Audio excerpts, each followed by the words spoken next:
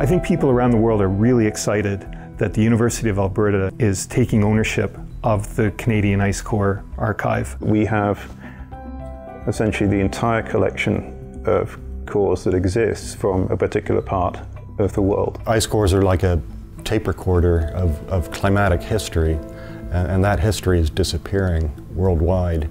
Because glaciers and ice sheets are melting so rapidly, we're losing that record. And so being able to preserve it in a place like the University of Alberta and study it is, is really valuable right now. The cores have ice in them which may be as much as 80,000 years old.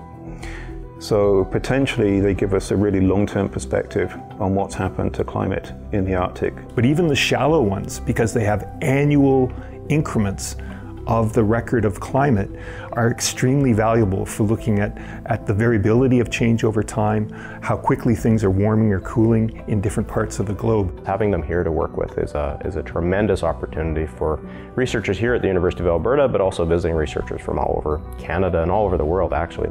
U of A is, is seen as a university of the North, and so I think it, it's fitting that the ice cores be here.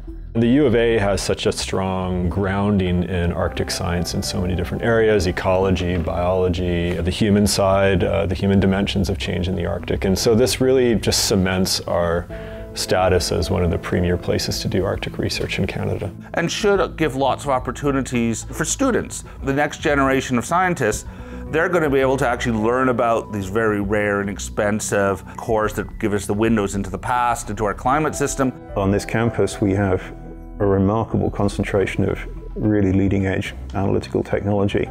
Technology has evolved so much in terms of what we can do by way of analysis relative to when the cores were collected that really we can start again and do things at much higher resolution and with much better chronological control and measure things that we just couldn't measure 30 years ago. So I think that gives us an opportunity to, to really do things that not, have not been done on these cores before uh, and maybe not been done on cores anywhere.